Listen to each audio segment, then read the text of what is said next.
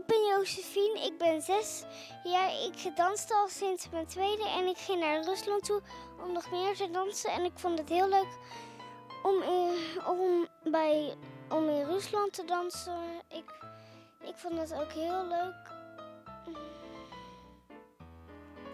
En, en mijn lievelingsdans is Kitri.